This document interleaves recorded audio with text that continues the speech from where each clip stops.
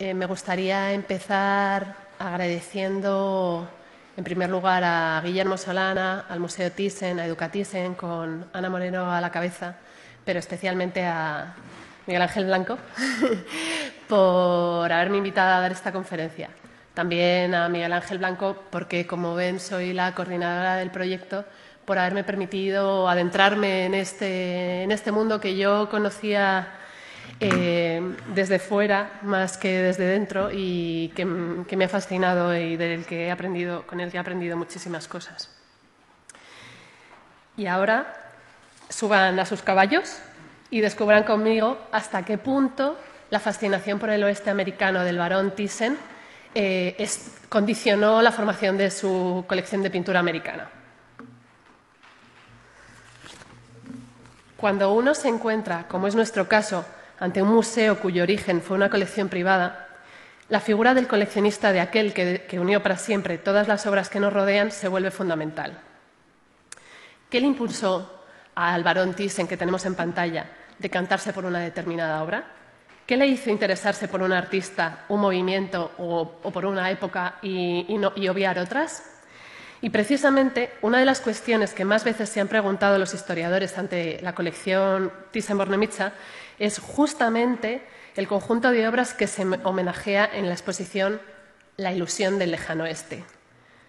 ¿Por qué comenzó un coleccionista de origen europeo a, coleccionar arte decimonónico americano cuando en el viejo continente nadie se interesaba por este arte? ¿Qué le llevó a decantarse por estos artistas que en aquel momento eran unos completos desconocidos en Europa? y sobre los que aún hoy, como hemos visto, como nos ha comentado Guillermo, sigue habiendo muchísima ignorancia. Esta fue, sin duda, una de las rarezas del gusto del varón, que lo convirtió en un genuino, en un aberraris del coleccionismo europeo. Tenemos que pensar que el varón comenzó esta parte de su colección justo en el momento en el que la pintura decimonónica norteamericana comenzaba a ser reivindicada en la propia América. En América tampoco había vivido eh, un, periodo de gloria ininterrumpido, sino que había sido olvidada y estaba comenzando a ser redescubierta. Sin embargo, en Europa se seguía mirando con recelo y muchos prejuicios. El varón se unía a esta corriente renovadora que quería revalorizar un arte que hasta entonces había sido ignorado por considerarse inferior al europeo. Hans Heinrich se convertía en un pionero, un pionero cuyo papel al ser extranjero se convertía aún en más relevante, pues posibilitaba incluir el arte del siglo XIX americano en el contexto de la historia del siglo, eh, en el contexto de la historia del arte occidental. Em, me permito hacerles la sugerencia que revisiten una vez más las colecciones o las revisiten mentalmente y se darán cuenta cómo en el discurso de nuestra colección, que se considera enciclopédico, que, revisa la, historia de la cultura del arte occidental, eh, hay dos salas que están ocupadas única y exclusivamente por el arte norteamericano de esta época. O sea que en nuestro discurso este periodo tiene una importancia muy grande. En esta intervención me propongo desentrañar los motivos que llevaron al varón a coleccionar este arte hasta convertir su colección en la de mayor número y calidad de arte decimonónico norteamericano de Estados Unidos. El varón decía, eh, eh, escribió una vez, Siento una gran atracción hacia los artistas norteamericanos, quizás porque soy un cuarto americano, pero principalmente por el profundo amor de estos artistas a la naturaleza, el espacio y la perfección. Estas palabras fueron escritas por el varón en 1984 para el catálogo de la exposición que, con una selección de su colección americana, viajó por museos eh, estadounidenses. Estuvo en Baltimore, en Detroit, después fue a Denver San Antonio, Nueva York y Palm Beach. Estas cosas el varón durante los años 80 hizo viajar muchísimo, distintas partes de su colección, se pudo ver prácticamente toda su colección en, todo el mundo. En ellas nos da algunas claves para comenzar a entender su particular vinculación por el arte americano. Por un lado, nos recuerda su conexión familiar eh, con Estados Unidos. Su abuela materna, que tenemos en pantalla, era de Delaware algo que él intuye que pudo influir a la hora de sentir una cierta predilección por los artistas que nos ocupan. Em, Hedwig Pelcher se casó con August Thyssen, eh, que es el cabeza de, la familia Thyssen. y empezó tímidamente la colección eh, de arte y un ejemplo de ello son los mármoles de, Rodin que están en el hall. Eh, se los pidió él explícitamente a, Rodin. Y aunque en, 1885 se, divorció de, de, este abuelo, de August Thyssen, por lo que yo dudo que tuviese mucho contacto con su abuela. Quizá fue esa, añoranza, esa falta de la abuela lo que le hizo sentir que, eh, como ese deseo de, conocer más sobre el país, país estadounidense. Pero sobre todo lo que a mí me interesa es el final de la frase, cuando dice que sin duda su atracción se debe principalmente al profundo amor de estos artistas a la naturaleza. En esta segunda parte de su afirmación hay un concepto clave, naturaleza clave porque se une con una de las principales motivaciones de nuestra exposición, sin duda, y sobre todo eh, de la creación artística del comisario de, la muestra, de Miguel Ángel Blanco, que se define a sí mismo, que te defines a ti mismo como artista de la naturaleza. Esa conexión fuerte que él siente por la naturaleza es, eh, lo que vamos a analizar ahora. Eh, esta afirmación, por ejemplo, nos permitiría comprender por eh, una parte personal del varón y por qué el paisaje tiene tanto peso en, nuestra colección. Otra vez, de nuevo, me remito a las salas ¿no? y a que ese comentario que ha hecho eh, Miguel, eh, Guillermo cuando ha hecho la introducción a las jornadas del paisaje del siglo XVII holandés. el Museo Thyssen también se distingue por tener una de las mejores colecciones del siglo XVII holandés de paisaje. Em, también Guillermo nos ha comentado cómo hay un momento de la vida del varón en, el que él eh, comienza su, expande su faceta empresarial al otro lado del Atlántico, a, Estados Unidos, eh, concretamente en los años 70. Y entonces empieza a interesarse por el arte estadounidense. Eh, recientemente se han publicado unas memorias en 2014, 2015, perdón, y, y en esas memorias él dice, visité galerías de arte y museos pero lo que, más, lo que me causó más impresión fue un libro de Bárbara Novak. Seguramente el nombre les resulta familiar, también lo ha citado Guillermo. Este libro se titulaba Naturaleza y Cultura. Todo ello me animó en 1979 a empezar a comprar también obras de artistas estadounidenses del siglo XIX. Aquí tienen la portada de, de una de las ediciones de Naturaleza y Cultura, que como ven como subtítulo tiene eh, Paisaje americano y pintura de 1825 a 1875 y que además he elegido porque la portada del, catálogo eh, tiene una obra de nuestra colección, de Thomas Cole, de eh, Expulsión, que se puede ver en la exposición también. Esta obra de Barbara Novak fue y sigue siendo uno de los pilares fundamentales para adentrarse en la pintura del siglo XIX americano. En su tesis, Bárbara Novak defiende que uno de los puntos principales que distingue al arte americano del europeo es precisamente la, fuerte influencia de la naturaleza, en su sentido más amplio. A diferencia de sus colegas europeos que tenían toda una tradición y una cultura detrás, los americanos se encontraban frente a una naturaleza sin huellas humanas. Eh, eh, ponen el ejemplo muy, muy evidente, el paisajismo en Europa eh, generalmente busca referencias humanas, eh, muchas veces está, eh, tiene motivos históricos escondidos, como, casi como si fuesen una excusa para poder dedicarse al paisaje, recurren frecuentemente a las ruinas, todo eso en el paisaje americano desaparece. Una naturaleza grandiosa que, como podemos ver en la exposición, un nuevo paraíso terrenal al que otorgaban un significado espiritual, Em, es importante ver que mm, esta actitud de los artistas eh, era un reflejo de una, cuestión mucho más eh, amplia, que se reflejaba, que era una actitud en general norteamericana hacia la naturaleza. Eh, ellos veían la naturaleza desde tres, tres puntos de vista. Uno primero que sería el ver la naturaleza como patria. Otro sería el ver la naturaleza como religión. Y el tercero sería ver la naturaleza desde el punto de vista de la ciencia. Digamos que el primero, la, patria, eh, sería eh, ese, sentido de, eh, tener un, territorio nuevo en el que poder, en el que el futuro estaba abierto y podían realizar lo que soñasen. El segundo, que sería esa idea de la religión, mm, porque ellos veían, ellos sentían, o sea, y esto es una cosa muy importante para el paisajismo americano, que, el paisaje, que la naturaleza americana, al, estar todavía eh, sin, o sea, no haber sido modificada por el ser humano, eh, dejaba ver las trazas de la creación de Dios. Entonces ellos otorgaban a ese paisaje valores espirituales y, morales.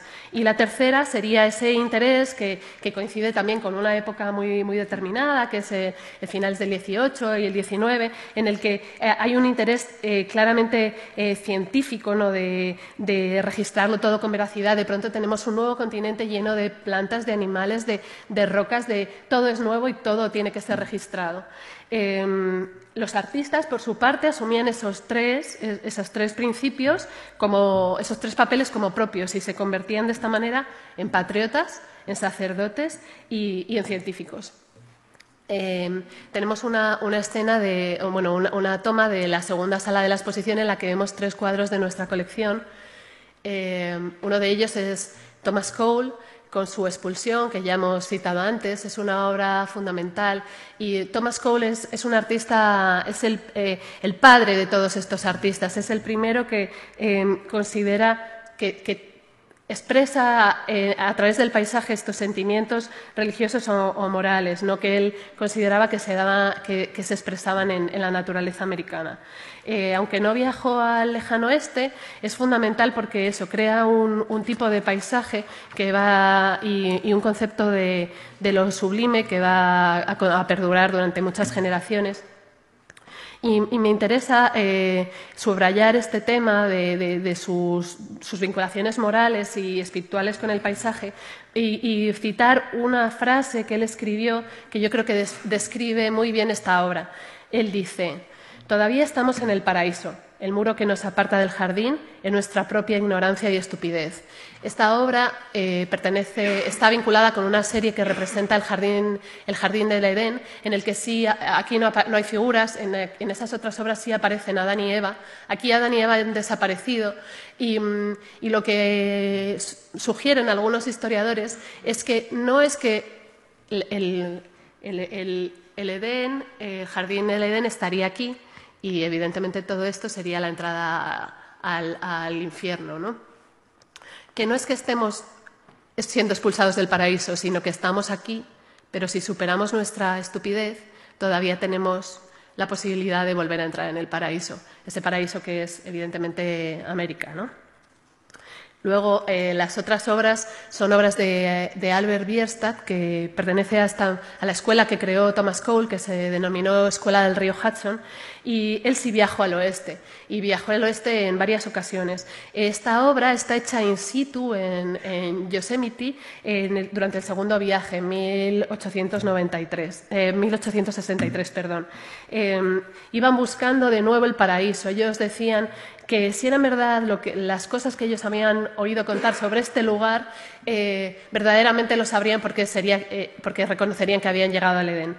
Vemos como, em, eh, bueno, ellos, ellos sí que existe un vínculo evidentemente con los artistas románticos y con su concepto de lo sublime y vemos como Bierstadt siempre tiende a a, recurrir a momentos del día con luces muy, muy dramáticas. ¿no? Aquí tenemos una, puesta de sol y aquí en esta obra que es más tardía volvemos a tener esa, esa puesta, de sol, esos rayos de luz que atraviesan las nubes y que parece como que están... Em, eh, personificando un poco la, presencia divina. Eh, tenemos también una cosa que es muy característica de un recurso también muy romántico de ponernos en un primer plano una figura mirando al, horizonte para dar profundidad y y, bueno, esta obra es curiosa porque está hecha un poquito más tarde y, sin embargo, eh, eh, después del, último viaje que él hizo al oeste, pero ya las, condiciones eran completamente distintas. Ya había ido, ese viaje lo había hecho junto a su mujer en tren. En muy pocos años, de ser un territorio inexplorado, se podía llegar a ir en tren. O sea, como en el oeste todo avanzaba muy rápido y las circunstancias también. Otra obra más de Viestas, Las Cataratas de San Antonio pero volvamos, a, volvamos al varón, volvamos a, a lo que estábamos hablando, este concepto de naturaleza que rige eh, al parecer, el, oeste americano y que había definido también Bárbara Novak en, su libro publicado en el año 80. Eh, es, un, fenómeno que la historiografía americana no ha querido reducir este, esta importancia en la naturaleza únicamente a los artistas del siglo XIX americano, sino que extienden como en una línea todo, eh, todo, este interés desde el siglo XIX hasta los artistas de vanguardia, hasta eh, los artistas expresionistas abstractos que estaban trabajando después de la Segunda Guerra Mundial. En 1976, el MoMA celebró una exposición bajo el título El, paraíso natural, pintura en América de 1800 a 1950, en la que se presentaba el paisaje del siglo XIX como un precursor del, expresionismo abstracto. Esto puede, sonarnos un poco raro quizá o no, mm, entender muy bien por qué estoy contando esto, pero es muy importante porque el expresionismo abstracto fue el primer movimiento americano que recibió, fue reconocido inmediatamente por parte de la crítica internacional y gracias, digamos que el arte americano se independizó gracias a este movimiento del continente europeo. Por fin parecía que había llegado a la edad adulta. Y entonces ellos, al sentir que eran reconocidos como que su hecho diferencial era reconocido, lo que hacen es se apoyan en ese arte del siglo XX para decir, no, pero es que lo que se había hecho antes también era distinto. Nosotros tenemos un hecho diferencial, no somos como los europeos, y lo que se hizo desde el principio y lo que se hizo después se parecen. Aquí tenemos, son dos obras de la colección permanente, pero que ilustran esta idea que se quería exponer en esta exposición. Son obras que, eh, que las dos hablan de, lo sublime y las dos eh, pretenden como crear, un, una, crear como un estado de contemplación en, el espectador. Uno, es George Innes con, un paisaje y el otro, el otro es Rothko que crea un, paisaje mental, un paisaje abstracto. Eh, de hecho, como, ha comentado Guillermo, el, el varón también comenzó su colección con la pintura más actual. En 1963 adquirió este Pollock y que Siempre se ha pensado que era su primera obra de arte americano, aunque ahora veremos que, eso puede ponerse en cuestión. Y poco a poco se había ido introduciendo, eh, había, se introduciendo para en 1979 empezar a comprar arte del siglo XIX, como hemos comentado. Recapitulemos un momento. Lo que venimos diciendo del varón es que era europeo con sangre norteamericana. Tenía, sus negocios le habían llevado más allá del Atlántico.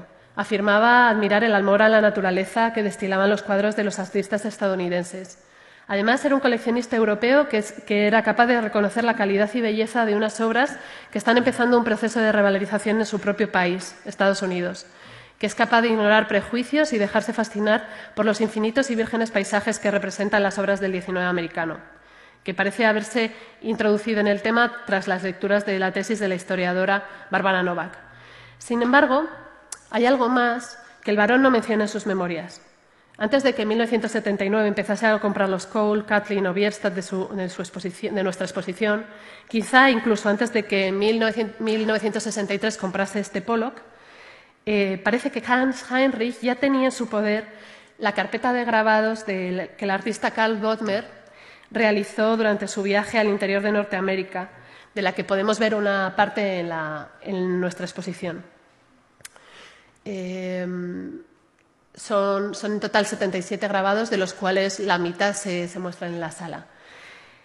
No sabemos con certeza la fecha de adquisición de aquella carpeta, pero Simón de Purí, que eh, fue el conservador de la colección Thyssen durante los años en, los que estuvo en Villa Favorita, en, Lugano, Suiza, afirmó en 1982 que el varón la adquirió en una subasta benéfica en Alemania 15 años que el resto de toda su colección de pintura americana del 19.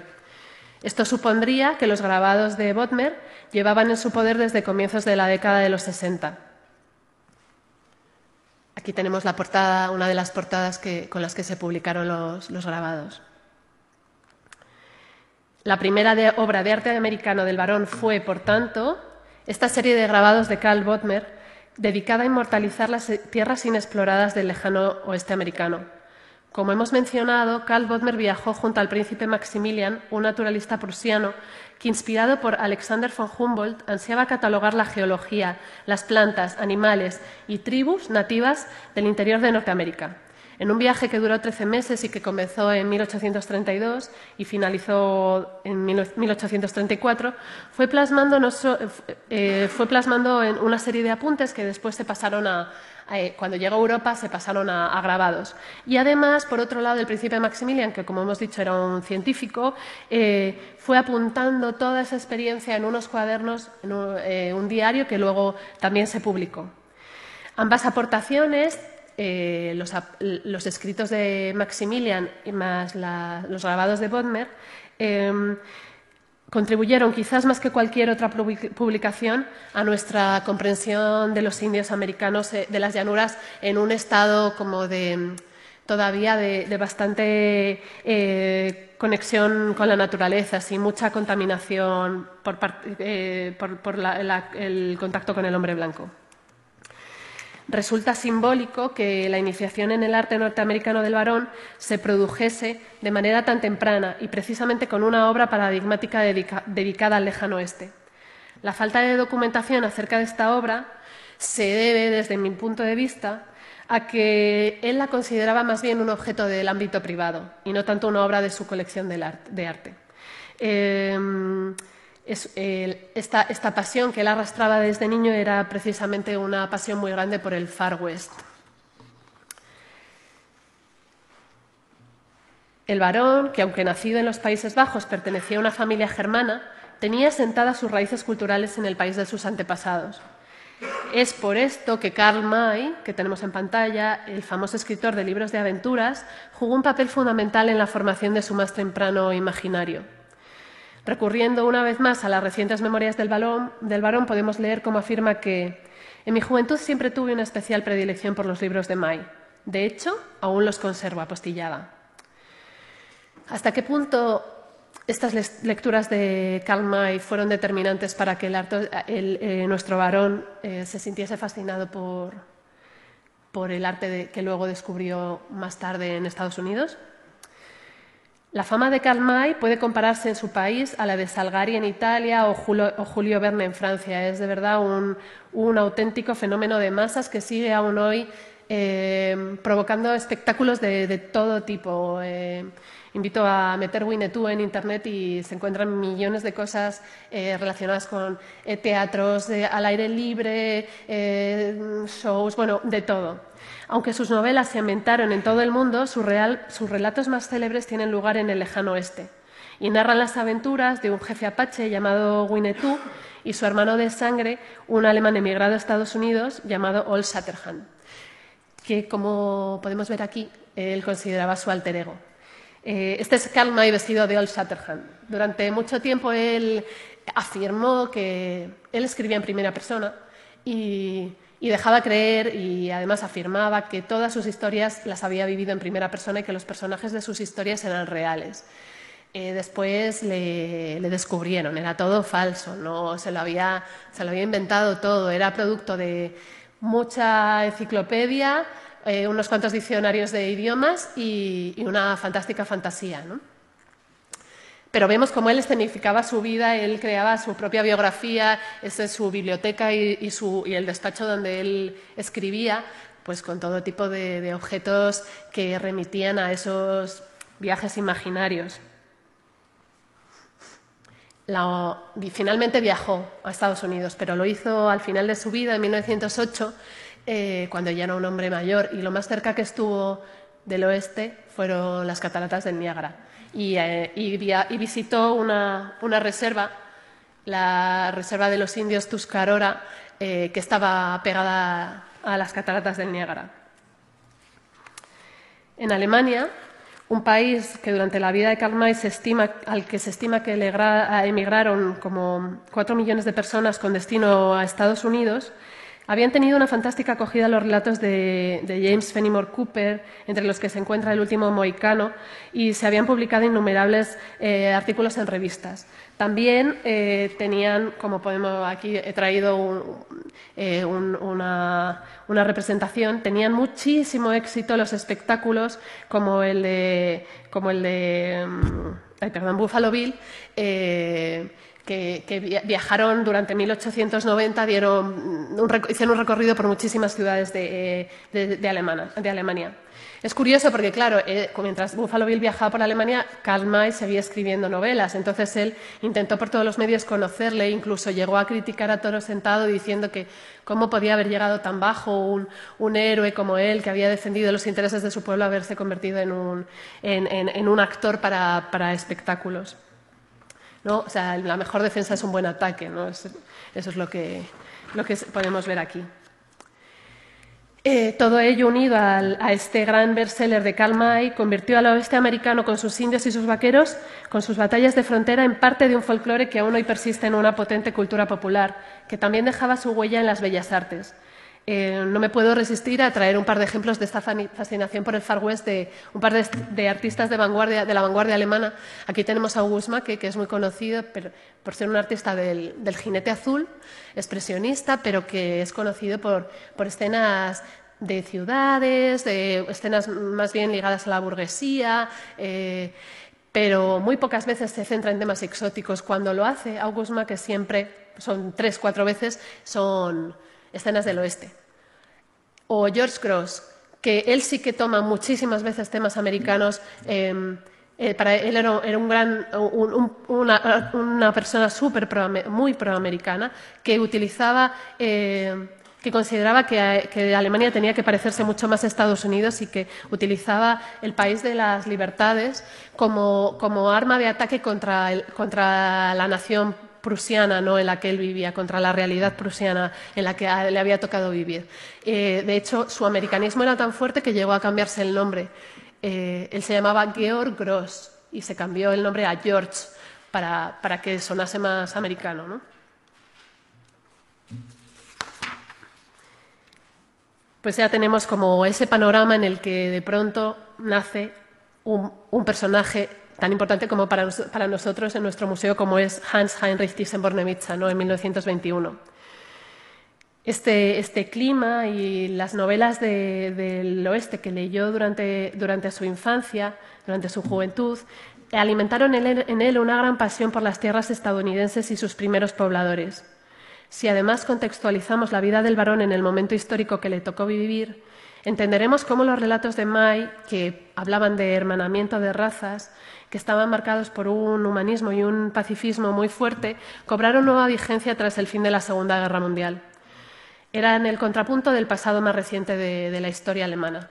El varón no, vivió la guerra en primera persona, no, estaba en Alemania, eh, vivió la guerra en Suiza, pero sí que era un declarado antinazi, así que todo, todo va como encajando.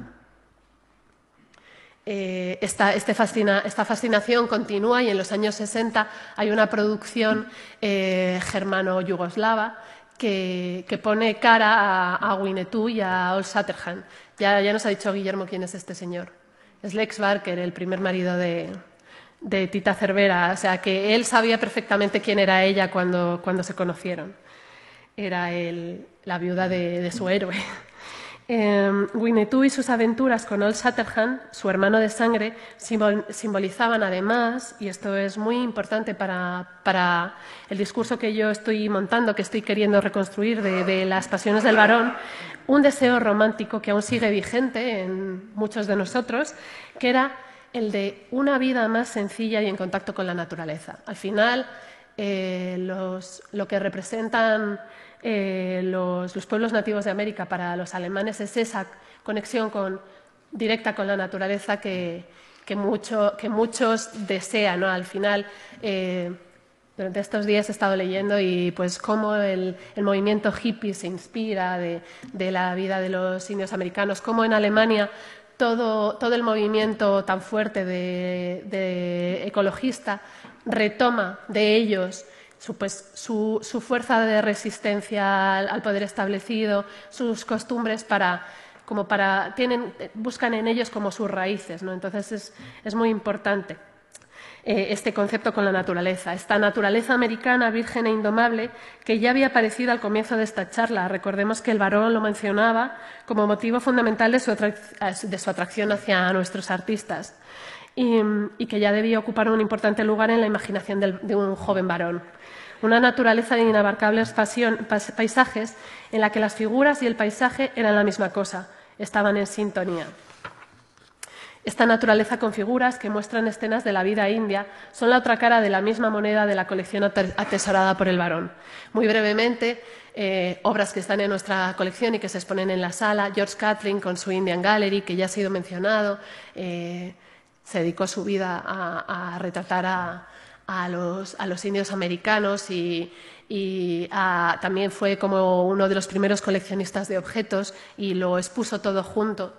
Después, Henry Lewis, que también viajó al oeste y hizo un viaje por el Mississippi dibujando un panorama que después se exhibió. Es curioso porque aquí tenemos el indio en primer plano, pero ya están los turistas aquí. estas cataratas de San Antonio que hoy en día han desaparecido, bueno, de hecho desaparecieron muy pronto, fueron una de las primeras atracciones turísticas del oeste. Eran una zona que los, que los, estadounidenses habían comprado a los indios Lakota y en una de las zonas seguras donde los turistas podían viajar. Por otro lado, tenemos a, Charles Wimmer, que era un, emigrante de Alemania instalado en Estados Unidos, que después volvió a Düsseldorf a, formarse. Es muy curioso y de esto daría para otra charla, pero muchísimos artistas americanos eh, se formaron en Düsseldorf. ahí hay otra conexión americano-germana que, podría dar para mucho que hablar. Eh, cuando él pintó esta obra no había visitado el oeste y esto es una de las características que empiezan a tener muchos pintores del oeste, que ya se ha creado una ficción, ya se ha creado una iconografía y no hace falta viajar al oeste para poder pintar eh, escenas del oeste. Eh, él vuelve a Estados Unidos de Düsseldorf en 1856, pinta esta obra y luego sí viaja al oeste. Y ya sus obras cambian un poquito de carácter y tienen más fundamentos eh, antropológicos y etnográficos. ¿no? Y por último, Remington, que, es un pintor ya de principios de siglo, que sigue técnicas ya más, ligadas a Whistler y a, la, reforma que habían introducido eh, los artistas impresionistas en Francia, y que un poco crea, él crea también un poco como Karl May su propia ficción del, del artista cowboy. Es muy interesante también.